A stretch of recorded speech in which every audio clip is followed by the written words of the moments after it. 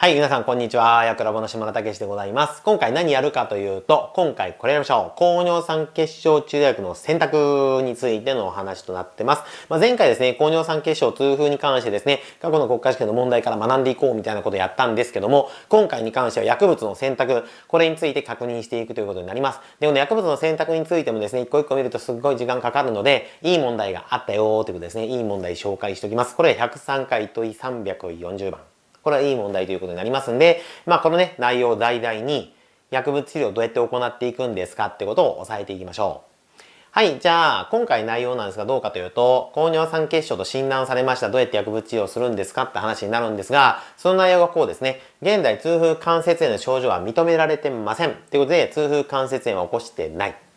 で、次ですね。起因を受診しましたと。で、検査の結果ですね、尿酸排泄低下型の高尿酸血症と診断されました薬物療法を行うこととしました。で、その検査結果自体がどうかというと、尿酸値が 9.3mg パーデシリットル、そして EGFR23ml パーフンパー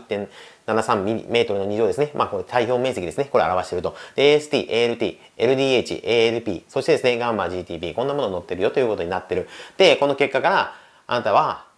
薬物治療した方がいいよねって話になったということです。じゃあなんで薬物治療した方がいいよねってなったかということをですね、まず確認していきますんで、皆さんは高尿酸血症ってどっからそういうふうに診断されて、どっから治療対象になるのか。これを必ず知っておいてください。まあ、ネットとかで調べるとですね、診断基準っていう感じで、こういうですね、稼ぎエイドがありますけど、僕の稼ぎエイド書くとちょっと大層なので、皆さんは端的にこんな風に押さえてください。じゃあ、高尿酸血症なんですが、どっから高尿酸血症って言うのって話なんですけど、高尿酸血症についてはですね、こんな風になってますね。高尿酸血症。これに関しては検査値があります。高尿酸血症いくつ以上なのかっていうと高尿酸血症に関しては 7.0mg パーデシリットル以上の尿酸値ってなったらあなたは高尿酸血症だよというふうにされます。これが診断基準。じゃあこれは診断基準となってるんですがこの診断を受けたからすぐ薬物治療をしようかとはなりません。これ知っといてね。じゃあ、7.0mg パーデシリットル以上でどういう人が治療対象になるのかというと、こんな風に思っておきましょう。痛風したことあり、痛風ありです。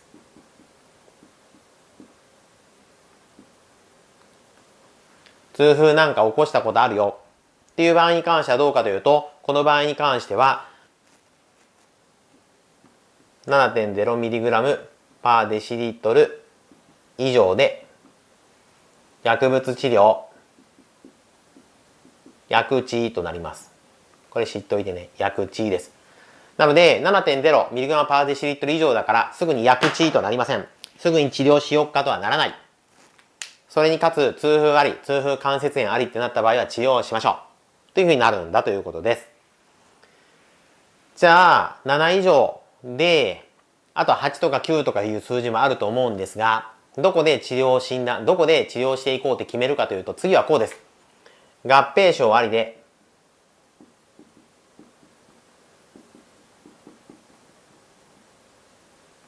8.0ミリグラムパーデシリットル以上。この場合は薬物治療しましょうとなります。薬治となりますんで知っておいてください。合併症があるんだったら 8mg パーデシリットル以上になるとあなたは治療対象だよというふうになるということを知っておいてください。これが2番目の薬物治療をするための基準っていうかね、薬物治療をここからしましょうという基準になります。でもう一個はこうです。合併症関係なく 9.0mg パーデシリットル以上この時点で速攻薬物治療合併症あるとかなしとか関係なく9超えてきた人は薬物治療となります。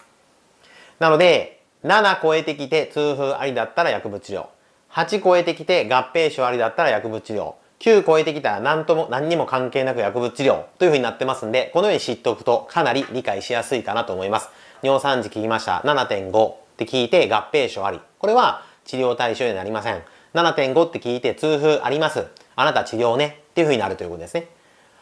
もしくは尿酸値聞いて9.3と言われた今回みたいにね、調べたら9.3となった。9.3、もうあなたはすぐ治療。っていうふうになるよということでね、これを知っておくといいかなと思いますんで、皆さんはこの数値を知っておくと、尿酸、高尿酸血症ってどっから診断されるのか、どっから薬物治療を行われるのかってことをですね、確認することができるよというふうになります。なのでこの人に関しては、痛風関節炎はないってなってるんですね。で、合併症に関する記述は一切ないです。高血圧とか、メタボリックシンドロームとか、虚血性心疾患とかそういうデータが全くない。全くないんで分かんないです。糖尿あるとかそんな風に書いてないんで全く分かんない。合併症分かんない。けど、数値見ると9.3なわけです。もう9.3ってことは速攻、薬物治療しましょうってなったってことですね。そんな問題となっていること、これ知っておくといいかなと思います。なので、この数値はかなり有用ではないかなと思いますね。この数値知っておくことによって、それは薬物治療になるでしょって話になりますんで、まあ、この数値を知っておいてください。で、もうちょっと詳しく見たい人、それについてはですね、フローチャートがですね、ネット調べたらどこでも載ってます。ググってください。高尿酸血症治療診断みたいなね、治療基準みたいな感じで見てもらうと、フローチャートが載ってますね。痛風発作ありなしとかですね、合併症ありなしとかですね、9以上9以下とかね、そんなね、フローチャートがありますんで、まあそれ見てもらったらいいかなと思います。で、で、ここで薬物治療することは分かった。どうすんの？ということなんですけど、薬物はここにずらっと5個並べました。ですね。じゃあ5個並べたんだけど、この問題の流れからすると、尿酸排泄低下型って言ってると。で、この尿酸排泄低下型の人っていうのは前回の動画でも言ったんですが、この尿酸排泄低下型の人は6割いるんですね。多いんです。多い。6割ね。60%占めてて、多いよということで、この患者さんも多い方です。尿酸排泄低下型で割と多い方。じゃあこの多いね、尿酸排泄低下型の場合に関しては、尿酸排泄させましょうっていうふうになります。じゃあ尿酸排泄させましょうってなるんだけど、その時に排泄促進させる薬物と、あとは酸性を抑制するお薬っていうのがですね、あるわけですね。あとは分解するお薬もあります。尿酸を分解するってお薬もある。っていうふうになってるんですね。それがここにラインナップとして並んでます。フェブキソスタット、ブコローム、プロベネシド、ベンズブラノン、ラスブリガーデ、ラスブリカーデですね。これが並んでるということなんですね。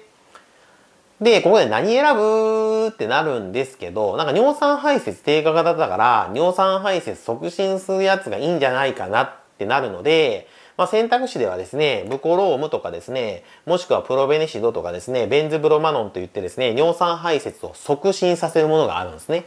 まあ、こういったものあるんですけど、これらはですね、尿酸排泄低下型にはいいよとされてるんですが、この患者には選びません。なぜかっていうと、この患者さんについては、最もポイントになるとこはここですね。EGFR が23とかなり腎臓が悪い。EGFR23 はかなり腎臓悪いです。なので、この腎臓悪い人に尿酸排泄低下型使えるのかというと、使えません。なぜか、禁忌です。なので、このブコローム、プロベネシド、ベンズブマノンというものに関しては、腎臓悪い人、腎臓悪い人ね、腎臓悪い人、この人には禁忌とされてます。使えないよとされてるんですね。まあ、細かい内容は解説載ってるんで、また解説この下のね、内容、103回問い340番うちのサイトで見てもらったらいいと思うんですけど、まあとりあえずそんなね、細かいとこまでいいです。まあ添付文章見てもらっても載ってますけど、まあ重篤な人種障害ダメだよとかですね、載ってたりします。なのでこの3つは尿酸排泄促進させるんだけど、人種障害には使えないからアウト。禁忌だからダメ。ということになります。じゃあ2つ残った。ヘブキソスタットとラスブリーカーデは残った。じゃあヘブキソスタット、ラスブリガーでこれを戦わせる。じゃあどこで見るかっていうとですね、このフェブキトスタットに関してはですね、これはキサンチンオキシダーレを非競合的に阻害することによって尿酸を作らなくするっていうことで、通常の高尿酸血症に使えます。でこの患者さんに使うことはできます。ただ、ラスブリカーゼに関してはどうかというと、ラスブリカーゼに関しては、がん化学療法を行った場合の高尿酸血症となってる。この人、がん化学療法を行ってません。だからどうかというと、適応症的にこれは違う。だから答えはヘブキソスタートとなるっていうですね、もうかなり難しい問題になってますね。ただ、この問題知っとくことによって、どうやって高尿酸治療薬、高尿酸血症治療薬選ばれるのかとか、どっから治療が行われるのかとか、まあそんなこと見ることできるんで、割と面白い問題です。難易度は高いんじゃないかなと思いますけども、まあこんなものですね、高尿酸血症治療薬に用いられてて、ブコローム、プロベネシド、ベンズブロマンに関しては排泄促進で使われますよ、ってことですね。だから排泄低下型には向いてるのかなと思うんですが、そうではなく、この患者さん腎臓悪いんで使えないみたいな感じで省く。で、ラスブリカーゼというものも使われるんですが、このラスブリガーでもですね、高尿酸血症に使われるんですが、がん化学療法に伴う高尿酸血症というふうになってますんで、この人はがん化学療法を行ってないから違うとなって残ったのはヘブキソスタットとなります。まあ、ちなみに高尿酸血症治療はもう現在はヘブキソスタットが優勝じゃないかなと思います。もうこれが一番使われてると思いますんで、このヘブキソスタットは外すわけにはいきませんね。だからヘブキソスタットは絶対勉強しとかなきゃいけない薬物となります。まあ、この患者さんには使えるというふうになってますんで、よければヘブキソスタット、興味ある人については勉強してください。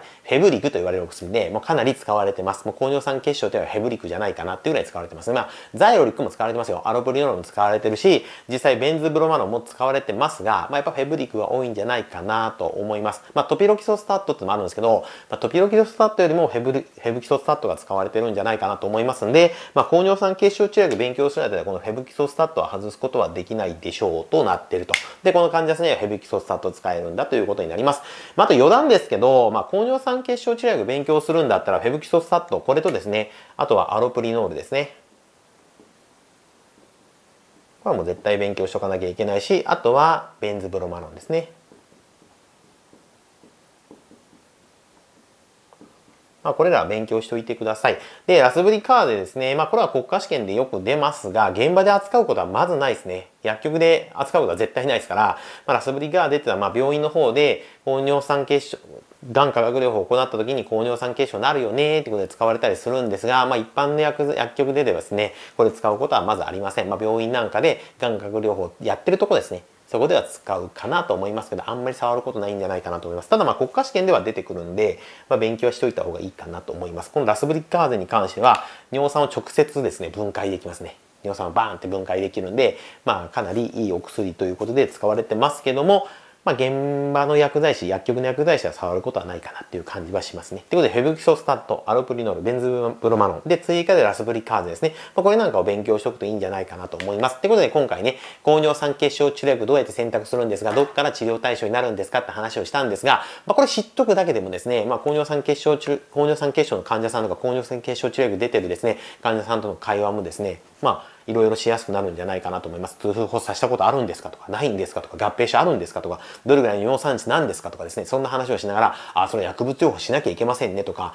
尿酸値今回高かったけどどうなんだろうって言われた時、いやいやもうそろそろそれ薬物飲んだ方がいいんじゃないんですかとかですね、まあそんな話をできたりするんじゃないかなと思いますんで、どっから薬物治療すべきなのかとかね、まあ、そんなことも見ることできますんで、よければこの問題でどういうふうな薬物が高尿酸血症治療に使われてるかってことと、どっから薬物治療を行っていくのかってこと、これを押さえてもらったらいいかなと思います。ということで今回については高尿酸血症治療薬に用いられる薬物に関する内容となってます。ではまた。